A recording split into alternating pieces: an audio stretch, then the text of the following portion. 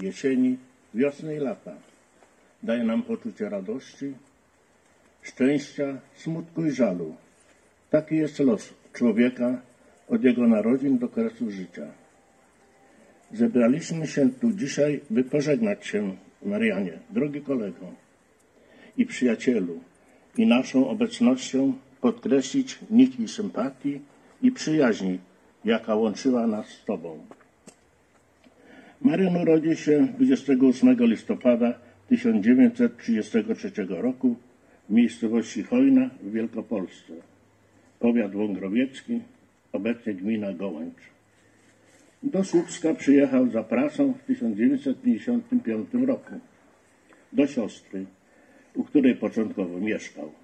Pracował w zakładach mechanicznych TOR jako tokarz, potem w szkole policji też jako tokarz, pracownik cywilny.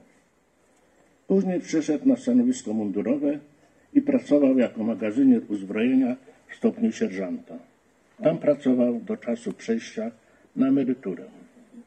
Marian, Marianek, tak drobniale zwracano się do niego, został myśliwym 26 czerwca 1961 roku. Pasja łowiecka, której się oddał całym sercem, stała się dla niego poważną częścią jego życia. Poświęcał jej bardzo wiele osobistego czasu. Wielkie zaangażowanie w działalności łowieckiej zostało docenione przez kolegów, którzy powierzali mu bardzo ważne funkcje w naszej organizacji.